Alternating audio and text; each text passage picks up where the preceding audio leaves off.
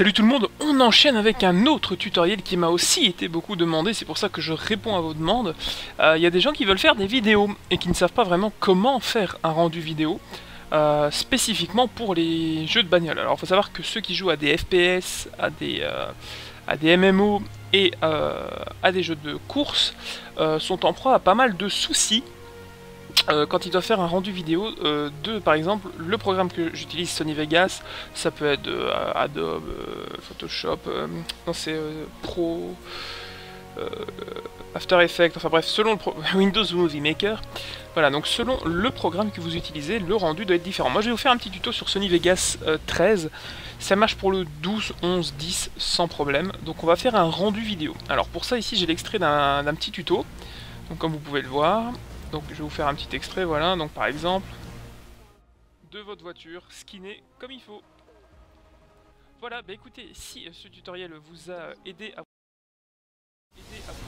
Voilà, donc là par exemple on a un rendu d'une euh, d'une voiture, donc là ça va pas trop loin, mais si vous faites des replays ou de la Formule 1, comme je peux voir chez certains, ça peut vous intéresser. Alors, vous allez d'abord dans Fichier, Propriétés, et là on va définir les propriétés en fait de votre, euh, de votre projet. Alors ici vous avez des choix, vous n'allez pas les, sélectionner, vous faites simplement 60.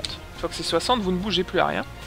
Ici vous allez vous rendre compte que c'est bien non optimisé, que vous êtes bien en gaussien. Ajuster le média pour mieux coordonner au projet, oui. Et ici vous faites appliquer à tous vos nouveaux projets. Comme ça, une fois que c'est fait, vous n'avez plus à bouger. Au niveau de l'audio, c'est bien de rester à 48 millions, parce que tout simplement c'est le format utilisé par euh, les vidéos sur YouTube, donc c'est un bon résumé.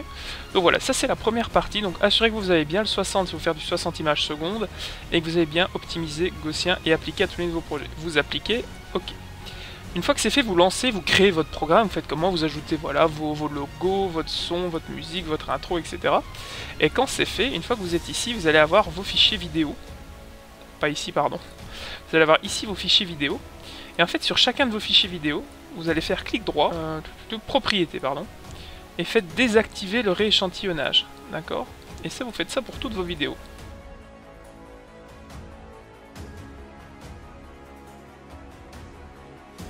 Donc ça va en fait éviter le, le- la division de votre image euh, en petits pixels carrés que l'on voit quand il y a beaucoup de flou de mouvement.